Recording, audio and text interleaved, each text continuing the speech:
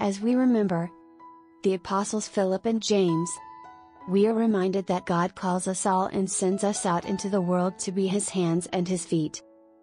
We thank you, Jesus, for the tasks you have entrusted to us. Help us each day to become more aware of our calling to serve you. Lord, in your mercy, hear our prayer.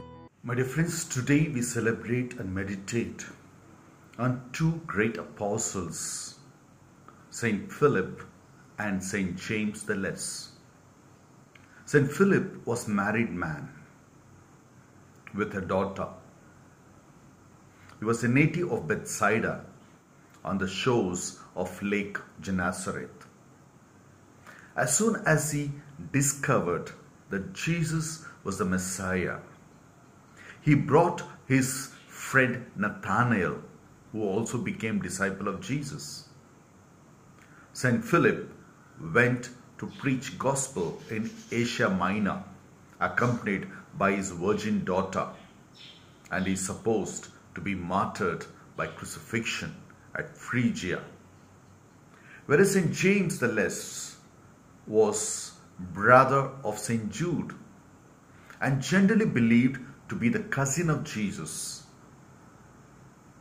because his mother Mary of Clophas and mother Mary were sisters. He was a most lovable, devout and an ascetic man.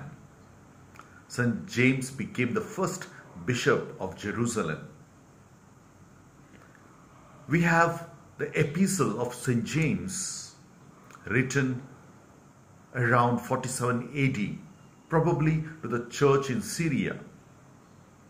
St. James suffered martyrdom by being cast down from the parapet of the temple and was killed with a fuller's club. My dear friends, today as we celebrate this feast of these two great apostles and saints, let us pray through their intercession. We also may be worthy witness to our Lord Jesus.